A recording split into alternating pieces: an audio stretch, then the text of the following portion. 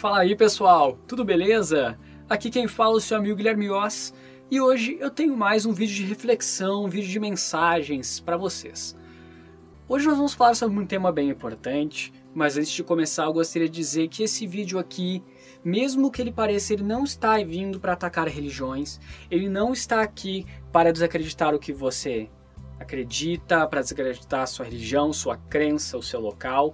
Eu não estou aqui para impor uma verdade, pelo contrário, eu estou aqui para provocar reflexão.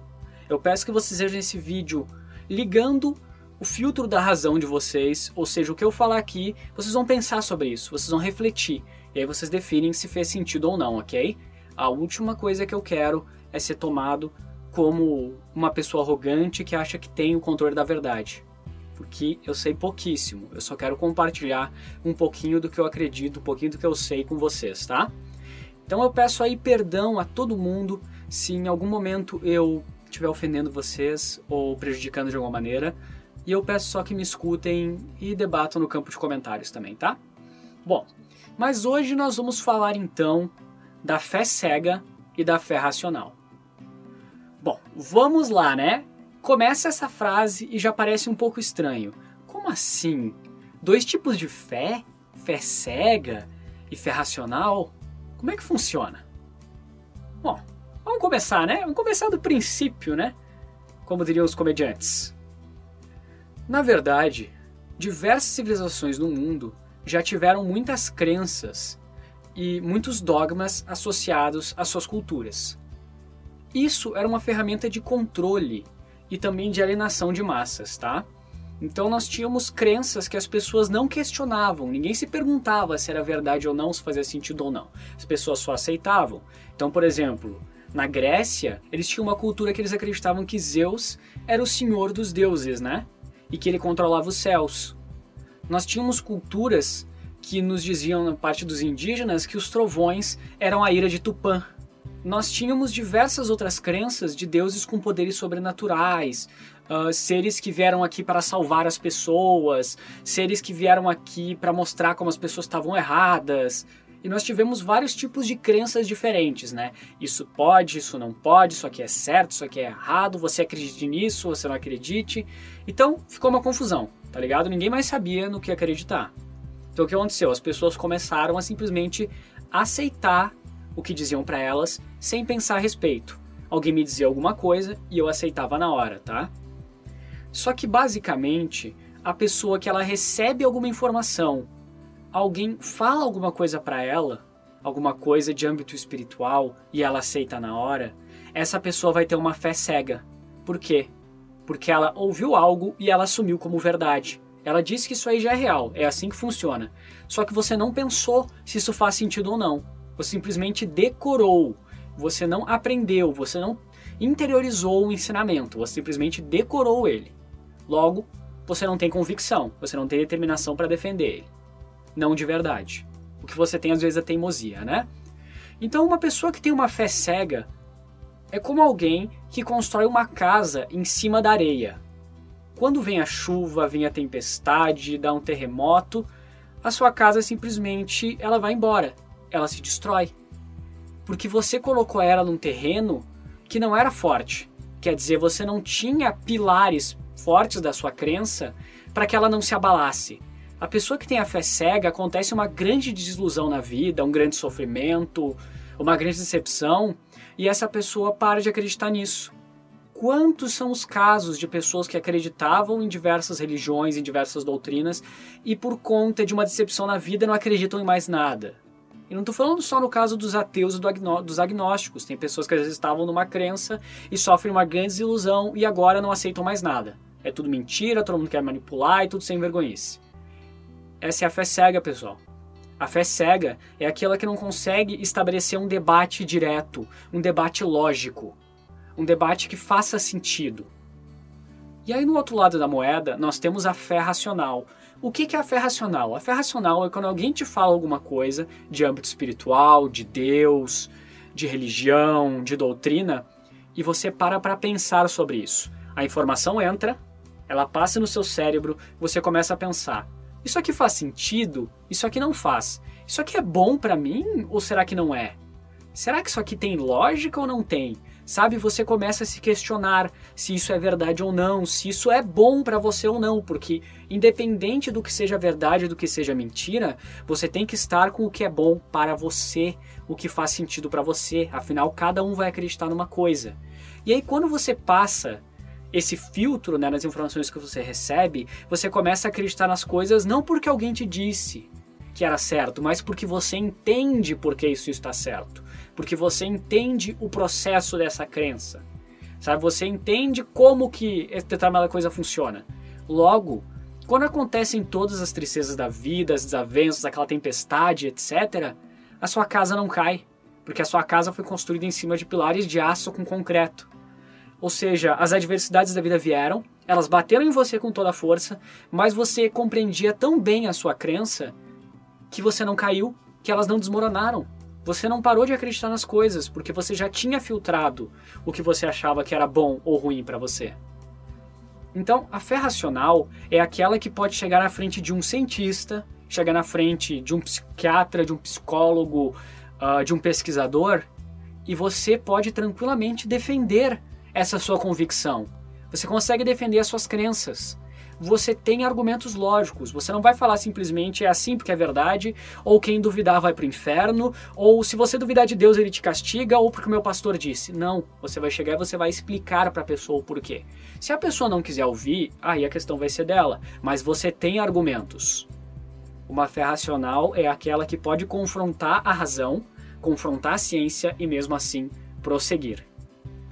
E a grande questão é que quando uma pessoa que tem uma fé racional vai até um local que diz o contrário, essa pessoa não fica irritada. Ela não começa a falar, não é assim, é mentira, vocês estão tudo errado, eu que estou certo, não sei o que. Ela não detém a verdade. A pessoa que tem a fé racional, ela vai analisar e ela vai ficar muito feliz se o que ela acreditava não era verdade, porque ela aprendeu uma coisa nova. Pensa, pessoal. Nosso objetivo é expansão de consciência, a gente expandir a nossa mente, começar a enxergar novas coisas. E quando a gente se permite aprender sobre diversas questões, através do crivo da razão, ou seja, se alguém te falar uma coisa absurda você não acredita, né? Então você começa a se ver livre. Você se vê livre de dogmas, de culpa, de medo, de ânsias, disso é proibido, isso não pode, isso está errado, você vai ser punido, você vai se ferrar. Não, cara. Você vai simplesmente acreditar naquilo que faz mais sentido para você. Pensa numa situação seguinte: se um cientista chegasse, tá? E você vê na TV, ele fala: Pessoal, eu descobri que o centro da Terra é feito de chocolate. Tá, você vai rir da minha cara agora pelo esse meu exemplo. Mas vamos lá. Você vai acreditar direto que o cara falou que o centro da Terra é feito de chocolate? Olha, cara, eu acho que não. Acho que você vai pedir para ele ter provas, experimentos, argumentação, você vai pensar se tem lógica ou não depois que ele falar. E aí sim você vai aceitar ou não esse conceito. Se você faz isso com a ciência, por que, que você não pode fazer isso com a religião? Por que, que você não pode analisar os ensinamentos que alguém te passa e você pensar se faz sentido ou não? Pessoal, não é pecado, não é errado você questionar o que diz a Bíblia, o que diz o Torá, o que diz o Alcorão, o que diz o Evangelho segundo o Espiritismo, o que diz qualquer local que você for, qualquer livro sagrado. Na verdade, você questionar algo não é falta de fé, e sim porque você quer encontrar o que realmente é verdade. Sabe, vocês não podem ficar com esse medo de que se vocês questionarem, vocês estão sendo filhos ingratos, vocês estão sendo pessoas ruins, vocês estão indo contra Deus. Não, vocês estão buscando iluminação. Deus não criou as pessoas para serem plenos robôs. Ele não é um senhor que não deixa os filhos questionarem nada e você anda por esse caminhozinho aqui que eu quero e o resto que eu não quero, tudo se ferre. Não são meus filhos. Não, nós somos criados para expandir e aprender. Nós temos que levar isso para a nossa vida. Uma pessoa não precisa aceitar tudo que falam para ela direto para ela estar certa ou estar errada. A pessoa tem que ter um crescimento. Questionar-se é expandir a mente. Questionar-se é adquirir sabedoria. Questionar-se é estar aberto a um novo mundo. Muitas pessoas acham que a fé e a razão são coisas opostas, né? São coisas que não dá para dizer fé raciocinada, fé racional, porque não faz sentido. Porém, eu digo para vocês que são complementares, uma está dentro da outra. A fé é o que expande os seus horizontes, é o que te faz enxergar coisas que você não via antes e que você também julgava impossível. Ou seja, você começa a ver além dos seus cinco sentidos do seu mundinho. E a ciência, que representa nesse caso a razão, ela vem para que você analise se isso é verdade ou não. Ela vem para aperfeiçoar você. Ela não vem para desmentir a sua crença, porque é só você que vai dar o último veredito. Ela vem para te ajudar a analisar o que é bom para você e o que não é. Ninguém é o dono da verdade. Não existe ninguém que possa dizer que mantém toda a verdade. Se a pessoa fala isso, ela tem mais de arrogância do que de sabedoria. Nós somos seres muito pequenos para entender toda essa complexidade desse universo. Nós não temos inteligência suficiente para compreendermos a vontade do nosso Criador, o que ele quer de nós, como o mundo funciona. Nós somos seres que devem ser considerados eternos mestres e eternos aprendizes. Mestre porque a gente ensina coisa para outras pessoas e aprendizes porque a gente sempre tem outras coisas para absorver, novas lições para aprender. Sabe que a fé cega e a ignorância, elas só beneficiam alguns, e eu vou ressaltar alguns, eu não estou falando de todos, tá? Alguns líderes religiosos, alguns pastores, alguns pais de santo, alguns mentores espirituais, alguns padres, alguns gurus, porque essas pessoas tendo uma, um rebanho, digamos, tendo pessoas escutando eles, né, um público que não se questiona e aceita tudo o que eles falam, eles podem fazer você acreditar no que eles querem, o que é conveniente para eles.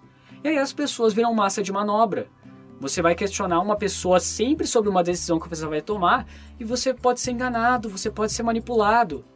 Cara, ninguém precisa parar de ir para a igreja católica, a igreja evangélica, para o templo, não precisa deixar de ir para o centro espírita, para o terreiro, sabe, para sinagoga. Você não precisa deixar de fazer isso para ser uma pessoa com fé racional. É só você ir lá, você ouvir sim o conhecimento está sendo passado, você ouvir a pregação, ouvir a palestra, ouvir a mensagem e você refletir depois.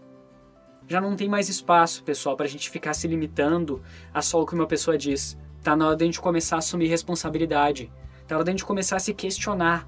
E daqui a pouco, se você acredita que um livro, por exemplo, a Bíblia, tudo que está ali está certo e não existe nada a ser questionado, então interprete na sua interpretação, na sua visão tá ligado? Porque cada um vai entender de uma maneira diferente. Pode ser que sua mãe entenda uma passagem, um ensinamento de uma maneira diferente, você entende de outra, o seu padre entende de outra. Então, assim, começa a assumir um pouco a responsabilidade, pessoal. Vamos começar a pensar um pouquinho melhor, porque a fé racional é aquela que vai te ajudar realmente quando o bicho pegar. A fé cega, ela pode até te enganar, só que é como tapar o sol com uma peneira. É como você se defender de uma flecha com um escudo de papel. Agora, quando você tem a fé racional em vez da fé cega, você consegue se defender com um escudo de metal. A flecha vai parar, porque ele é sólido. Então, pessoal, não pensem que questionar é errado. Questionar é como você adquire conhecimento. O conhecimento espiritual, o conhecimento esotérico, o conhecimento religioso, assim como o científico, tem que estar em eterna evolução. A gente não precisa seguir o que alguém disse, porque o meu pai me ensinou assim, porque o meu avô me ensinou assim, porque as pessoas aqui antes atrás falavam assim. Não, cara, o mundo vai evoluindo e os conhecimentos também. Vamos expandir nossas consciências, mas vamos fazer isso sempre com respeito. Vamos respeitar todas as crenças. E se uma pessoa não quer seguir essa linha, nós temos que respeitar totalmente também. Cada um tem o direito de acreditar no que quiser. Se a pessoa quiser ir para a igreja e continuar acreditando apenas no que o padre diz, ela pode. Se isso faz bem para ela, muito bom. Se a pessoa vai para um centro espírita e recebe uma orientação de um palestrante quer acreditar no que ele disse e fez bem para a pessoa, que bom. Mas para aqueles que não estiverem mais satisfeitos com as respo meias respostas que recebem nos locais, que procure a sua verdade. Como a verdade não tem dono, então a gente vai buscando as verdades relativas, a única coisa que eu acho que possa ter dizer, pode ser dita, né? Dizida é horrível, né? Possa ser dita como uma verdade inquestionável, e isso eu boto minha mão no fogo, é a regra do amor, a lei do amor. Amar as outras pessoas, fazer o bem aos outros e fazer para elas apenas o que gostaria que fizessem para ti. Você fazer para elas o que você queria que elas fizessem para você. Fora isso, o resto é questionável, galera. A gente ainda está numa etapa, uma etapa muito preliminar. Nós ainda somos aprendizes de um baixíssimo nível. Nós temos muitas coisas para deslumbrar ainda, temos muitas verdades para conhecer, muitas teorias esotéricas para estudar. Não vamos nos fechar só no nosso mundinho ali. Vamos abrir a mente, cara. Aquele que tiver ouvidos para ouvir, que ouça. e olhos para ver que veja, como disse Jesus. Tem pessoas que vão estar prontas para falar outras, para ouvirem outras coisas, tem pessoas que não. Tem pessoas que vão aprender um pouco em cada lugar. Eu posso aprender um pouco na igreja católica, um pouco na evangélica, um pouco no budismo, um pouco no centro de umbanda, um pouco no espiritismo, um pouco no judaísmo, no taoísmo, em qualquer lugar, cara. Se eu aprender um pouquinho em cada ponto, pode ter certeza que você é uma pessoa com conhecimento espiritual muito maior do que aquele que só aceitou o que alguém dizia. Vamos nos libertar dessas correntes de dogma, de que isso é errado, isso aqui é ruim, e vamos buscar a nossa verdade. Chega só da gente aceitar dos outros, vamos buscar a nossa. As respostas você vai encontrar dentro de você através dessa análise e não lá fora em algum lugar. Mas pessoal, é isso aí então. Espero não ter ficado muito confuso, muito travado esse vídeo. Sei que eu gaguejei muitas vezes. Espero que você tenha entendido a diferença entre fé racional e fé cega. De novo, não estou atacando sua religião, tanto que eu falei de várias aqui. Você pode acreditar em qualquer coisa que você quiser. Eu só estou dando uma minha visão, que eu acho mais bacana a gente pensar sobre as coisas antes de assumir como verdade, tá? Mas cada um é livre para acreditar como quiser, ok? E eu vou respeitar sempre todo mundo, não importa como elas pensem e o que elas pensem, tá? É isso aí então, pessoal. Muito obrigado. Esse vídeo aí tá com a licença liberada, então você pode compartilhar em qualquer lugar, botar no Facebook, no Twitter, upar no seu canal. E tá liberado aí pra gente discutir. Deixa os comentários nos comentários ali, né? Ali embaixo. A sua discussão, o seu debate mas vamos fazer isso com respeito, tá? Sem ofender as outras pessoas. Vamos dar nossos argumentos e ouvir os dos outros também, que assim a gente cresce. Então, pessoal, muito obrigado por terem me ouvido e até mais. Fui.